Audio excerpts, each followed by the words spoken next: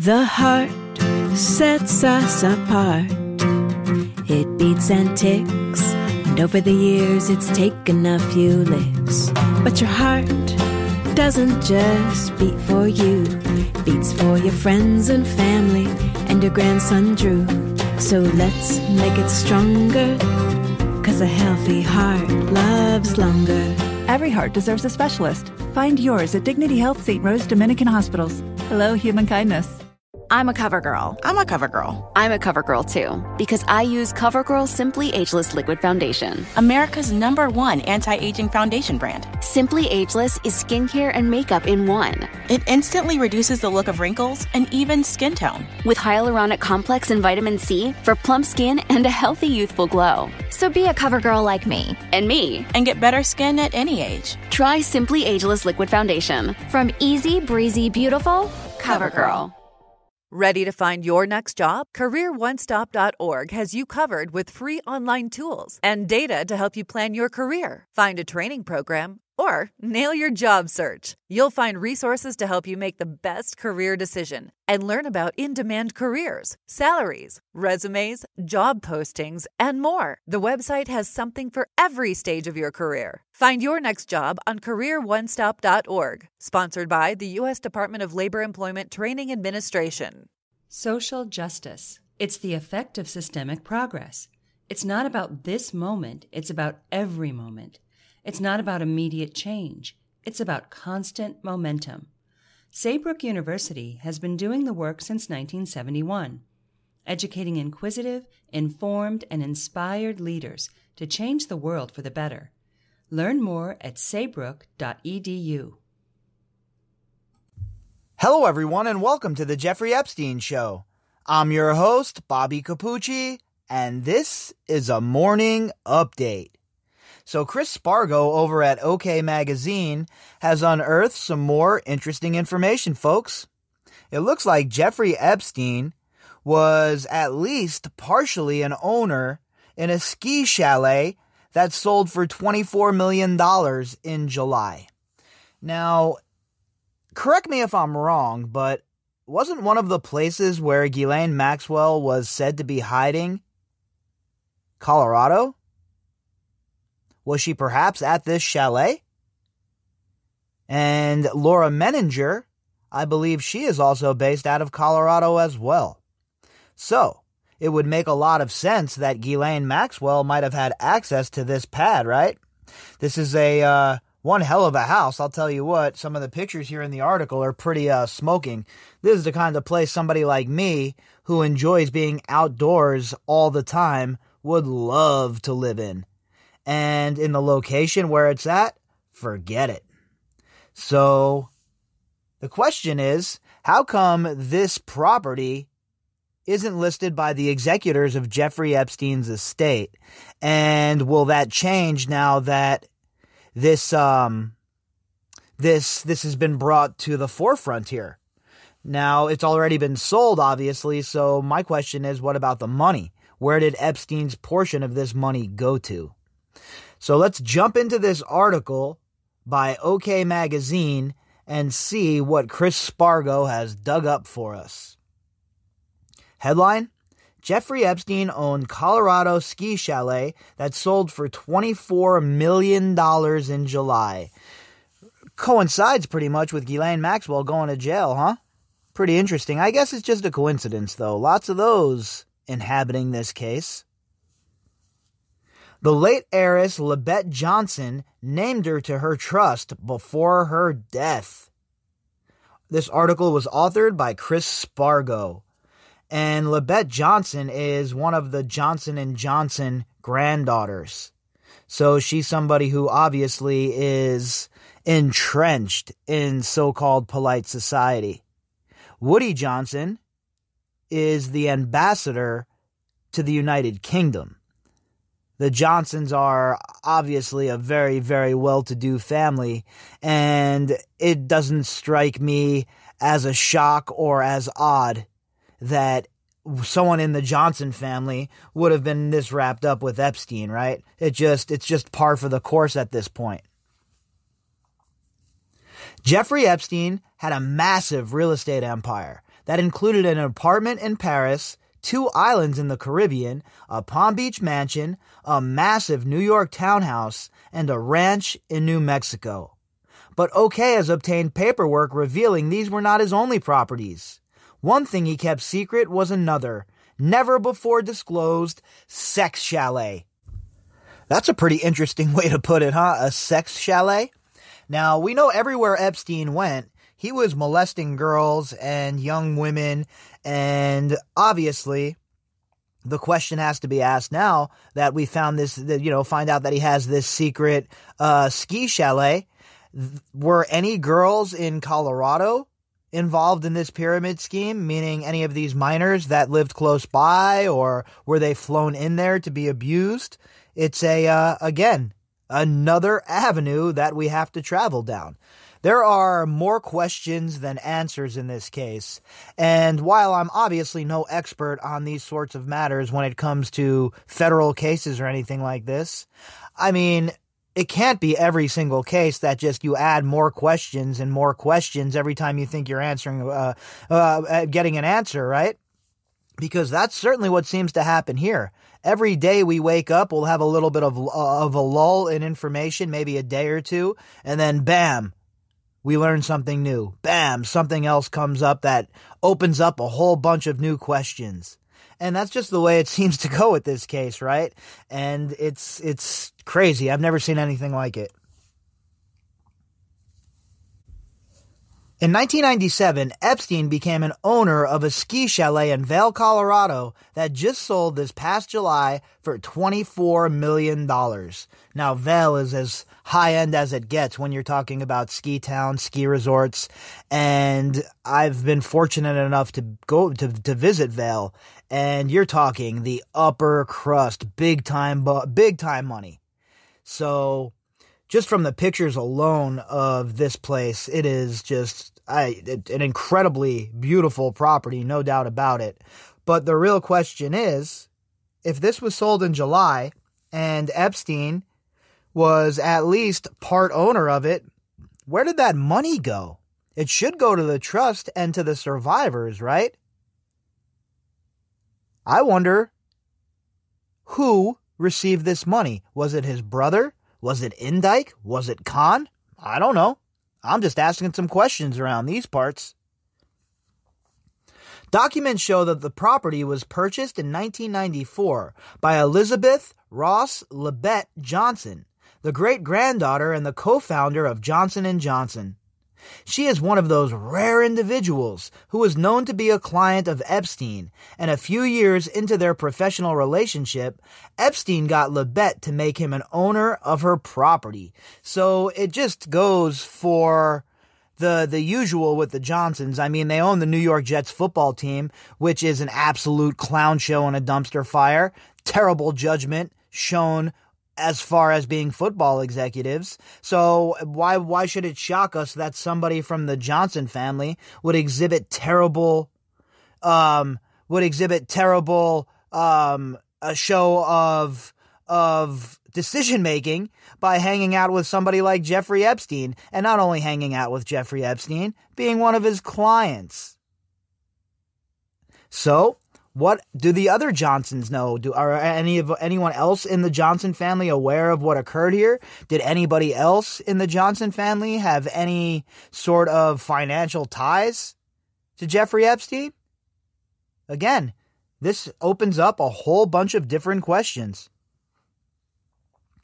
A 1998 property transfer that is dated May 13th and signed by both Johnson and Epstein transfers the property from the heiress to a trust set up in her name by the pedophile.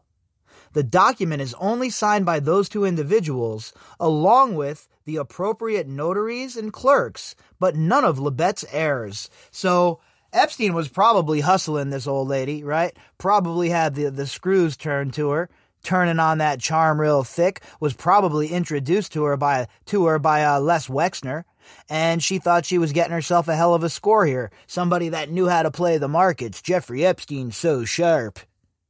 Meanwhile, she had no idea probably that she's getting in bed with this bipedal serpent. Then again, maybe she did, right?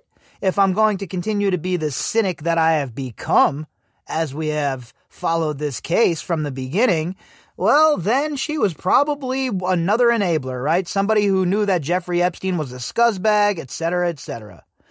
Or, again, maybe Epstein was working her and scamming her as well. Who knows? The fact of the matter is this, though. This property was not listed as far as entities owned by Jeffrey Epstein or properties owned by Jeffrey Epstein. And that means that this money was directed somewhere, and that somewhere is not the survivor's fund. So I think that is the most important thing here.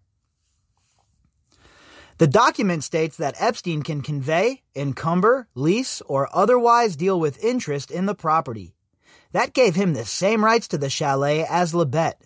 There was never a change to that trust before the house sold this year, and the deed references the owner as being the trust as created in, in, in the May 1998 document.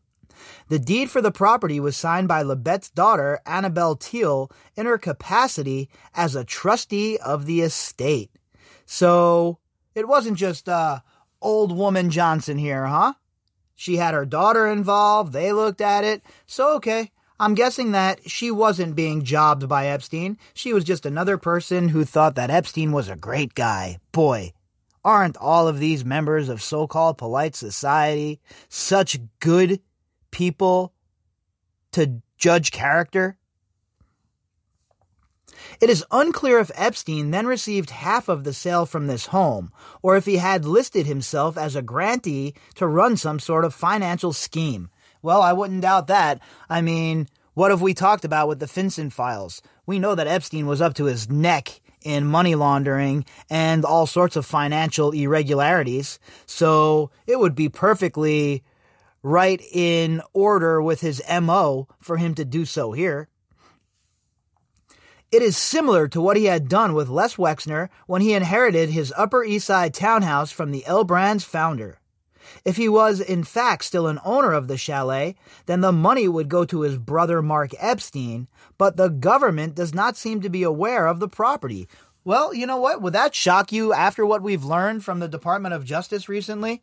Would it shock you to know that they did a piss poor job of unearthing all of Epstein's holdings? And also, it goes to exactly what I said would happen.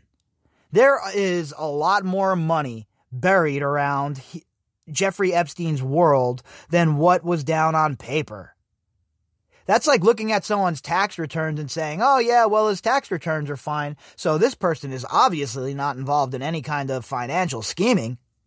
Well, of course not. They're not going to report their ill gotten gains. Just like Jeffrey Epstein is not going to report all of his finances.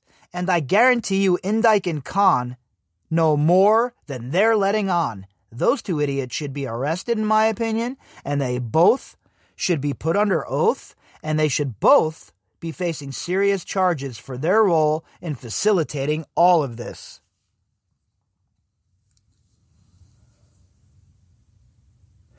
It is one of the one of two Epstein properties not listed in the breakdown of his assets provided by his executors to the courts.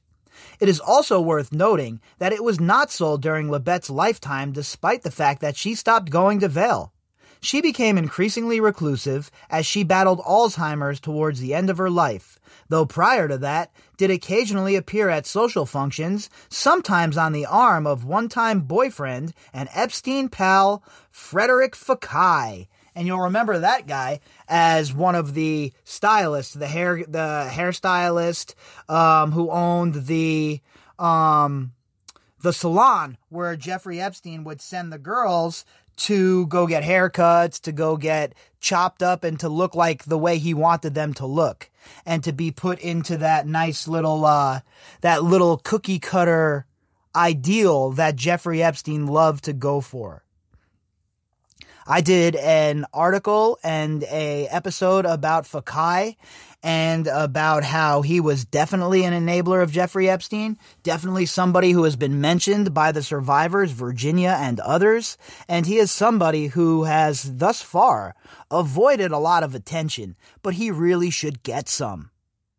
And I think as we're moving forward here and we have a couple of those lulls like I was talking about, maybe we'll go back and we'll dive deeper into Frederick Fekkai and his dealings with Ghislaine Maxwell and Jeffrey Epstein because he wasn't just an outer fringe friend, right? This is somebody who was close enough that Epstein would send the girls down to his salon for them to have their makeovers and stuff.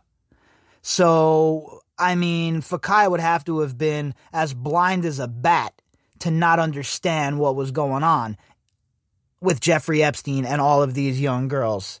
You know, we're not talking about a guy who's running around looking like, you know, uh, Brad, Pr- Brad Pitt in his prime, all right? We're talking about Jeffrey Epstein's goofy ass, big ol' eared ass, no sense of style, no sense of anything. If it wasn't for the money and the power, forget about it.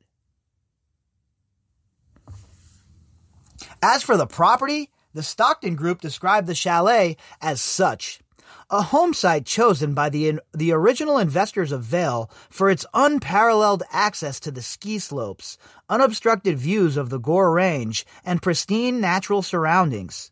This home combines timeless luxury with impeccable craftsmanship while absorbing the incredible history of this premier ski in, ski out location. Off the backyard is the Golden Peak Base Area and Riva Bahn High Speed Quad a legacy property with unmatched privacy and proximity to the ski mountain. And again, make sure you check out the um, article. It not only has pictures, but it has the deed that Chris Spargo dug up, and it's posted here as well. So definitely make sure you go into the description box, you check out all of the links, and you click on the link for OK Magazine and come and check this out because You'll be blown away by these pictures if you're not familiar with Vail, especially, or ski towns in general. Then you'll take a look at this and you'll just shake your head. These people had everything, folks. The world at their feet. And what did they choose to do with all of that power and all of that great privilege? It's sad, disgusting, and gross, if you ask me. The 7,738 square foot home is located on half an acre of land and has seven bedrooms, seven full bathrooms, multiple fireplaces, an elevator, and a pool. So, Jeffrey Epstein had himself a little hidey hole in Colorado where Ghislaine Maxwell was said to be hiding and where Laura Menninger is based. I guess it's all coincidence, though, right? I my real guess though, and my speculation here is obviously just my opinion, is that at some point during the time where Ghislaine Maxwell was on the lam, she spent a little bit of that time at this Colorado property. That would be my guess. And that would also be why, in my opinion, it was sold in July as well. It coincides with Ghislaine Maxwell heading to prison. Now, where did that money go? That's the question I leave all of you with as we sign off this morning here on the Jeffrey Epstein Show. If you'd like to contact me, you could do that at Bobby Capucci at protonmail.com. That's B O B B Y C A P U C C I at protonmail.com. You can also find me on Twitter at B O B B Y underscore C A P U C C I. All of the links that go with this episode are in the description box. And to everybody who has donated to the podcast, thank you folks very much. We have a, another trip to New Mexico that is in the works as we speak. I am thinking about lining up mid to late February once again, depending, obviously, on all of these coronavirus restrictions that are now into play. We'll see how everything looks in February, but my plan now is February, middle of February, end of February to get back down to Zorro Ranch, back down to Santa Fe, and I'd really like to get out to Los Alamos for a little while and spend a little bit more time up at the Santa Fe Institute. I only spent a little bit of time there, a few hours, and I didn't really get to talk to too many people. So I'm going to make it a point to spend a lot more time on the campus at Santa Fe Institute this next trip. So, anyway, folks, that's a bit of an update about what I have in the works. And obviously, July, I'll be back in New York for the trial. But besides that, we're going to keep grinding and we'll see what we see, right? All right, everybody. I'll catch you folks later. Fact 3 billion of us worldwide depend on seafood as a key source of protein. And yet, overfishing is the number one threat to our ocean. Sorry, 3 billion people. How about switching your fish night to something sustainable? Try Good Catch Foods for 100% plant based seafood that is truly off the hook. Saving the ocean feels good, and the taste, delicious. Go to goodcatchfoods.com to learn more or shop online. Rogue Nicotine on demand, delivered direct to your door. Available in all your favorite flavors and formats pouches, gum, wintergreen, peppermint, and more. From your Monday morning coffee to watching hoops to dinner at the in laws, Rogue Nicotine is there for you when you need it. Visit roguenicotine.com today and save 10% when you place your order for sugar free, fast acting Rogue Nicotine. Underage sales prohibited. This product contains nicotine. Nicotine is an addictive chemical. For more information, visit roguenicotine.com. The heart sets us apart. It beats and ticks, and over the years it's taken a few licks. But your heart doesn't just beat for you, it beats for your friends and family and your grandson Drew. So let's make it stronger, cause a healthy heart loves longer. Every heart deserves a specialist. Find yours at Dignity Health St. Rose Dominican Hospitals. Hello, human kindness. Find your future with a military friendly school, helping service members, veterans, and military families earn a high quality education for nearly 50 years. Learn more today about how Columbia College supports our military community